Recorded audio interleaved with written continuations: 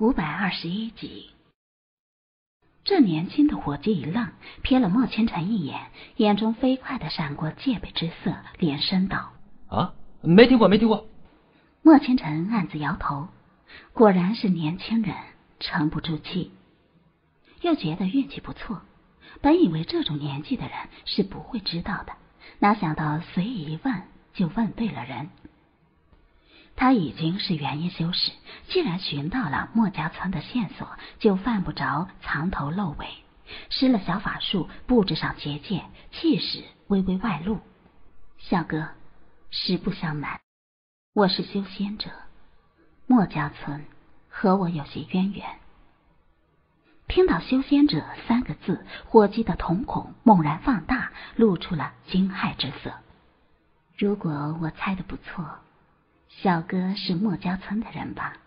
莫千尘淡笑着问道。伙计的身体忍不住发抖。仙子，你你想怎么样？看着伙计战战兢兢的模样，莫千尘笑了。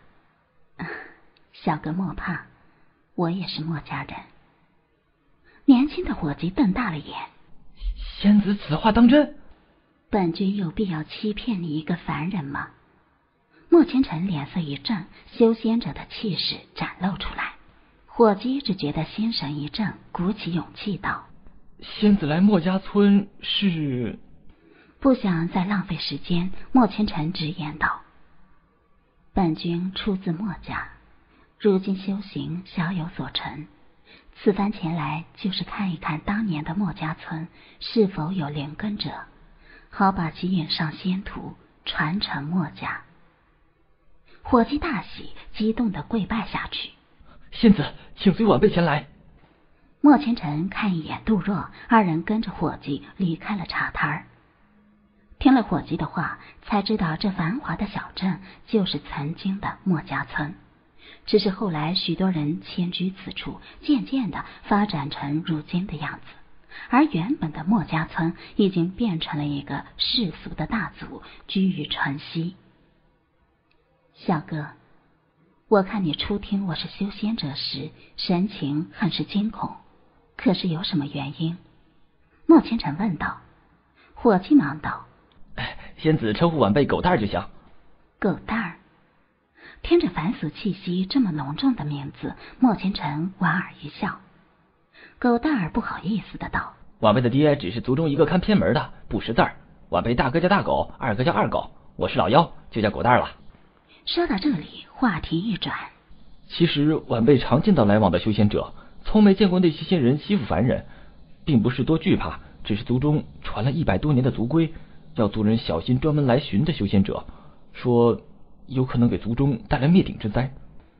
莫清晨暗自揣测，这倒是和一百多年前的莫家村街道市井，当年被花罗两家以及魔门灭族对上了。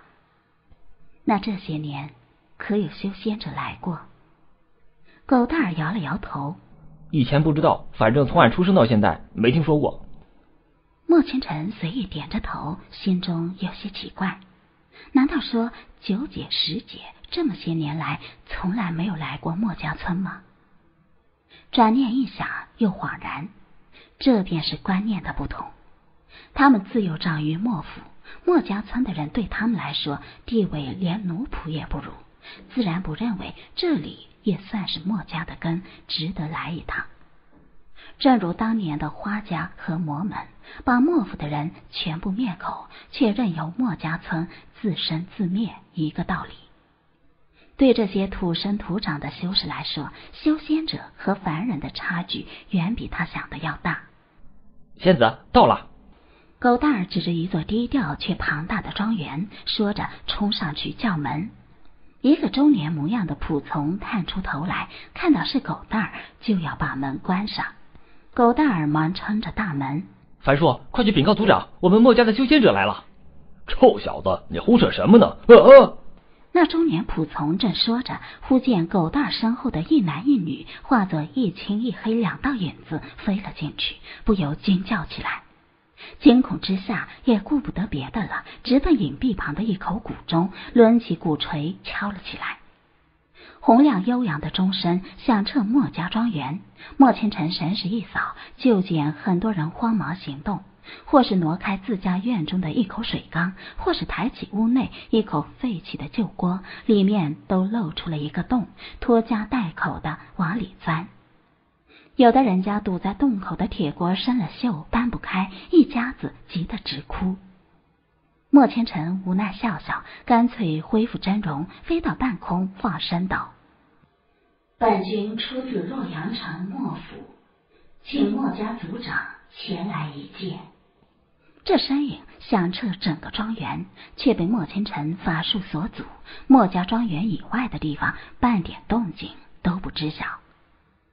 良久，一个老者被众人簇拥着，颤巍巍的来到莫千尘面前，声音嘶哑。仙子大驾光临，小辈们不懂事，怠慢了，还请仙子恕罪。莫千尘缓缓飞落下来，微笑道：“无妨，是本君想早些见到族长，有些失礼了。”老者连呼不敢，见莫千尘神色亲切，鼓起勇气道：“仙子说来自洛阳城莫府。”不知。说到这里，没有说下去。莫千尘却已经了然，傲然道：“一百五十多年前，洛阳城莫府巨变，本君离去时不过八岁，确实没有什么证明身份的物件。不过，本君已是元婴修士，又有何欺瞒尔等的必要？随意认祖宗呢？”元婴修士的气势散发出来，敛去其中的杀意，落在末世族人眼中，只觉得莫倾城威严无限，恍若天人，莫名的就相信了他的话。族长，本君此次前来是有两件事要办，还请这些族人退避一二。莫清晨轻声道。老者忙把莫清晨引入一个小厅，挥退了族人。恭敬道：“不知仙子有何事吩咐？”莫清晨眼睛眯了眯。第一件事，不知道族长知不知道，百多年前莫府灭门后，莫家村发生的事。这个，小辈听前任族长提起过。老者浑浊的眼睛有了些光亮，陷入回忆。听完老者的话，莫清晨暗暗点头。这些和当年从云芝那里听来的差不多。这么说，那封信还留在族里了？莫清晨问道。在在，上上任的村长把那封信收了起来，封存在祠堂里，一直没有动过。那就有劳族长把那封信取来吧。老者不敢违背，亲自进入祠堂，把信取出，奉给莫千尘。信写在上好的丝绢上，丝绢依然光洁如新。莫千尘展开扫视一遍，潇洒的字体映入眼帘，直若行云流水。乍一看，莫千尘对着字体生出了一种隐约的熟悉感，可细一思索，却了然无痕，就不动声色的收起。第二件事，本君是想看一下族中有无灵根的孩子，若是有，就把他们引上仙途，传承墨家一脉。如此，爷爷和族长爷爷在九泉之下也该欣慰了吧？莫清晨正想着，就听扑通一声，老者跪了下来，哆嗦着道：“贤贤子，此话当真？自然。话还未落，就见老者爬起来，健步如飞的冲了出去。下一个。杜若拿着测灵盘，见测试的孩子没有激起任何反应，淡淡的道：“莫千尘便坐在一旁，静静的看着，手里端着杯子，时不时的抿上一口灵酒。”年过八旬的族长颤巍巍的坐在下手，死死的盯着每一个测试的孩子。每当一个孩子被测出没有灵根下去后，眼中的光芒就暗淡一分。眼看着族中未满十四岁的孩子只剩下几个了，在老族长殷切期盼的目光中，接下来并没有奇迹发生。剩下的几个孩子全都是没有灵根的普通人。老族长一下子靠在椅背上，脸色灰败，浑浊的目光看着莫清晨，嘴唇颤动，想要说些什么。这个结果，莫清晨并不奇怪。有灵根者本就是万中无一，整个莫府未满十四岁的孩子不足百人，没有连根再正常不过了。这样吧。族长，你把族中三十岁以下的人都换来，本君再测一下。莫清晨道：“好，好。”老族长连连点头。不一会儿，莫府大院中就聚集了几百个年轻人。杜若，你再辛苦一下吧。莫清晨冲杜若微微颔首：“是。”杜若躬身应下，开始为这些人测试灵根。看着他们或忐忑、或茫然、或紧张局促的神色，看过来的目光犹如看着仙人。一个小小的测灵盘牵动着他们的情绪，或决定了今后的人生。杜若若有所悟，心境隐隐有些突破，手上的动作并未停歇。师傅，已经测试完了。杜若站了起来，把一直没有任何变化的测灵盘递给了莫清晨。莫清晨挥手把测灵盘收入衣袖，看向族长。老族长一脸的失魂落魄，看着更加衰老。莫千晨刚要说话，老族长却像想起来什么似的，紧紧的盯着那些年轻人道：“我们莫家子弟都在这里了吗？”还有没有人没接受过测试？仙缘就在眼前，却抓不住，实在是不甘心呐。他活了一把年纪，比这些年轻人明白多了。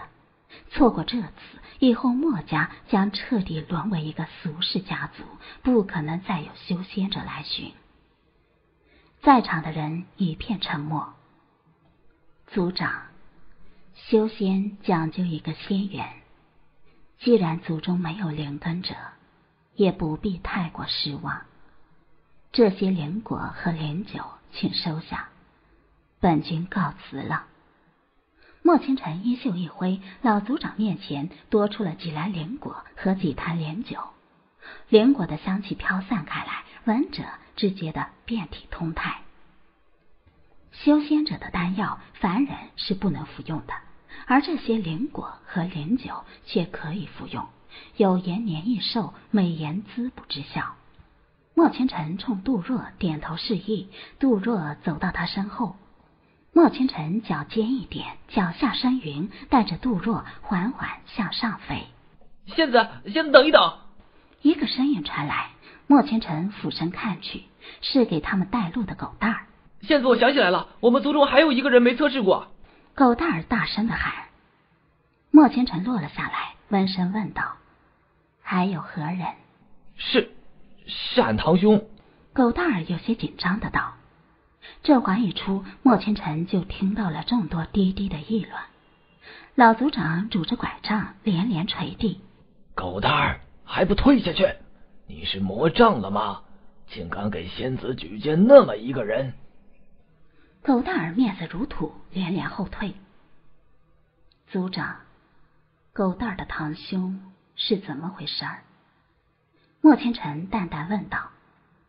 老族长长长的叹了一声，道：“唉，仙子，狗蛋的堂兄叫狗胜，今年刚好三十岁了。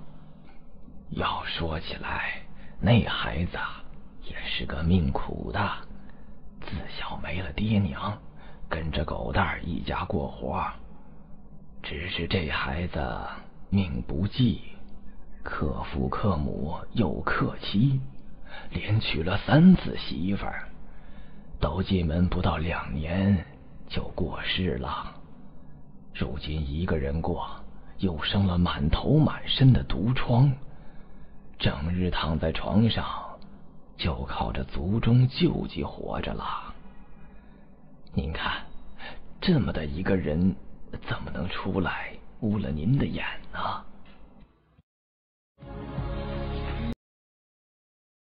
二十二集，莫清晨淡淡笑道：“既然本君说了。”三十岁以下的人皆可测试，就劳烦族长把他带来吧。这老族长有些犹豫，触到莫千尘投来的清淡目光，把话咽了下去，对族人挥手道：“把狗剩带来。”不一会儿，就有两个男子抬着一个人过来，众人遮掩着口鼻，纷纷避开，一脸嫌弃。杜若走了过去，瞥了躺着的男子一眼。那人面色发红，头发掉了大半，露出光秃的头顶，头顶上生着一片一片的红疮，冒着黄水。请把手放在这上面。杜若面上并无任何异样，把测灵盘递了过去。那人目光呆滞，一动不动。狗剩，这是新人，您议诊了，还不快点！看不过眼的族人冷喝道：“那人这才动作缓慢的把手放到测灵盘上，一瞬间，红色光芒大盛，隐隐透着黄色的光晕。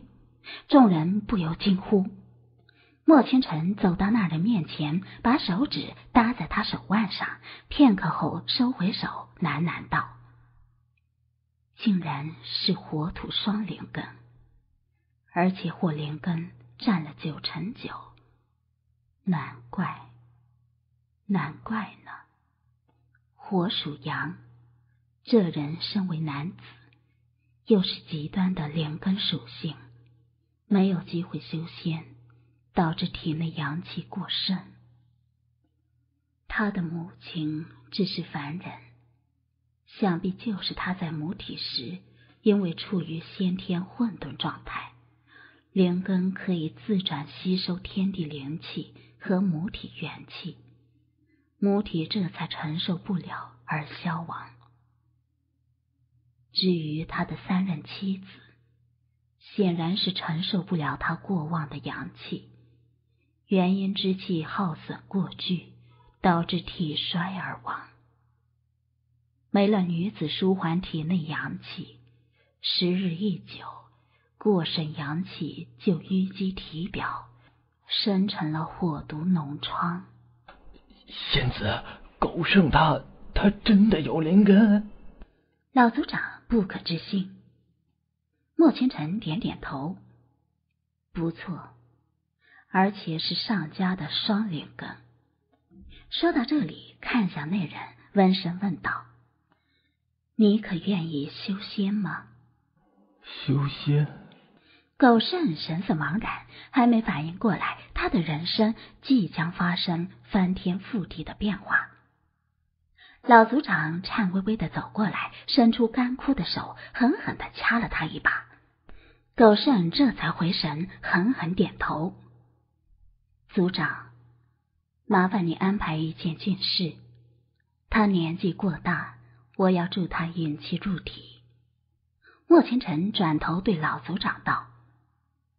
莫千尘也是元婴修士，有他相助，不过三日，狗剩已经做到引气入体。离去前，莫千尘叮嘱道：“你资质上佳，只可惜自幼长于尘世，无人引导，多年被过剩火气所扰，损了身体。如今虽踏上仙途，年龄又偏大了，日后修行不要太过勉强，凡事。”顺其自然即可。说完，留下一部适合火灵根修行的功法及炼气期服用的丹药，其中包括一颗筑基丹，又赐了两样法器，准备离去。狗剩扑通一声跪下：“仙子，您的恩德，狗剩没齿难忘，请您为狗剩赐一个名字吧。若是若是狗剩修行有成，就去拜访您。”莫清晨沉吟片刻。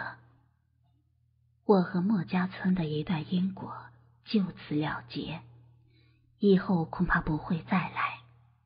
整个莫家村唯你一人身具连根，想来下任族人之职，定是你担当无疑。无论你在修行路上走多远，记得护持族人就好。你就叫莫生吧。多谢仙子赐名。莫生额头贴地，虔诚的拜下，再抬头，哪里还有莫千尘和杜若的影子？师傅，接下来我们去哪里？站在云端，杜若看着莫千尘问道。莫千尘目光悠悠望着远方。接下来，去我出生的地方看看。师傅也是出生在俗世中吗？嗯，是个很小的村子。莫千尘带着杜若向记忆中的方向飞。一日后，莫千尘指着远处的青山。杜若，看到没？过了那道山脉，应该就是那个小村庄了。我记得，每当这个时候，山那边的山坡上就开满了桃花，漫山遍野，整个村子就被一片花海包围了。杜若的神情有些奇异。师傅，不知为何，那里让我觉得很熟悉，很亲切。莫千尘笑眯了眼。难道是因为那里是为师生长的地方，所以爱屋及乌？杜若，你这么尊师重道，会让为师不好意思的。杜若嘴角直抽，深深的憋着，没敢再说话。可是随着越飞越近，那种奇异的感觉更加强烈了。当青山近在咫尺，似乎有奇特的气息从心头拂过。紧接着，杜若就发觉体内起了变化，灵力不由自主、快速的运转起来。天地八方的灵气汇聚而来，莫倾城神色微变。杜若，你这是要结丹了？说完，再顾不得其他，手一扬，数道剑气划破山石，生生开凿出一个石室来，把杜若打包踹了进去。好好闭关吧，为师在外。给你护法。说完，手一挥，石门缓缓关闭。只看到杜若欲言又止的表情。遇到这意外的情况，哪怕村庄近在眼前，莫清晨也不能过去了。门派弟子，除非万不得已的情况，都会选择在师门突破境界，保证足够的安全。杜若瓶颈数年，此时忽然进入冲击结丹的状态。他必须帮他护法，防止意外干扰。还好，冲击结丹所需的丹药，数年前就已经交给他，此时倒不至于慌了手脚。两年时间一晃而过，莫千尘端坐于洞口前，双目微闭，沉浸在上古剑诀的钻研中。这一日，狂风呼起，灵光万千。莫千尘忽然站起，面传微笑。天象已现，杜若结丹成功了。可很快，那抹微笑就凝滞在唇边。狂风四起，漫天灵光把天空映照的无比透亮。一个虚影缓缓出现，其形似兽，背身双翼，那是龙三子朝风。莫千尘疑惑起来：天象异兽，应该是结阴成功时才会引发的天象。杜若不过结丹，怎么会引出此等天象呢？莫千尘的疑惑并没有持续多久，面色已经大变。山脉的另一边，铺天盖地的威压扑面而来，天地色变中，一个少年踏风而来。那少年不过十四五岁的样子，长发随意披散，面白如玉，嘴角挂着一抹玩世不恭的笑意。渐渐的向莫千尘逼近，莫千尘心头一震，这个人当年虽只有惊鸿一瞥，他却终身难忘。他是妖帝洛风，一股寒意从心头升起。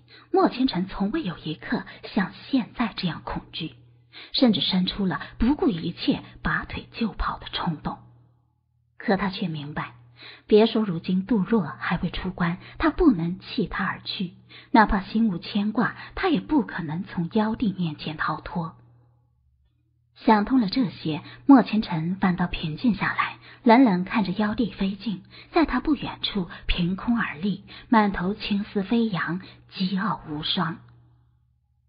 清澈的笑声响起：“哈哈哈哈哈！小丫头，你的胆子还真不小。”看着不过十四五岁面容的少年，莫千尘心中轻叹一声：“流年不利，怎么会巧遇了这个煞星？”面上却恭敬道：“在前辈面前，晚辈诚惶诚恐。”身侧气流涌起，这一瞬间，洛风就来到莫千尘面前，修长的手指捏住莫千尘的下巴：“诚惶诚恐。”本帝看不见得吧。一股羞辱涌上心头。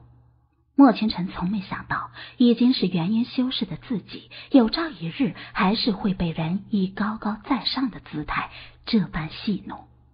抿了抿唇，强迫自己镇定下来。前辈修为深不可测，是修真界所有修士的。话未说完，差点惊叫起来。妖帝洛风忽然探过头来，气息几乎吹拂在他脸上。本帝倒是没想到，人类修士中也有此等角色，倒是比青丘的九尾狐还耐看些。